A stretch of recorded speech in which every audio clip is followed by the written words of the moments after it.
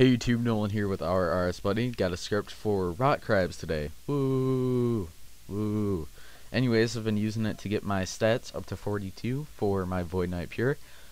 Um, it's an overall very nice script. Haven't had any errors with it. It will eat and teleport back if you're out of food. I'm pretty sure my friend told me it would. And I haven't really been able to uh, test that out because I don't take any damage from them. But, you know how it is black and yellow, black and yellow, or something like that. I don't even know the song.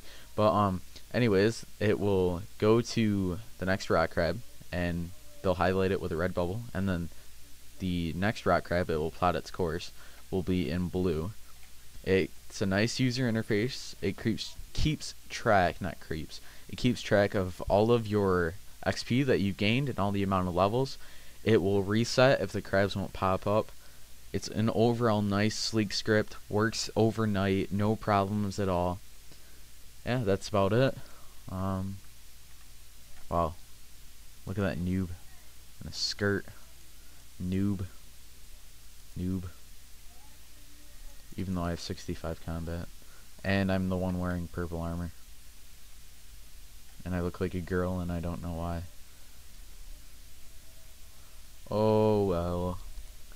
Alright, well, this, this has been Nolan with our RS Buddy. See you guys.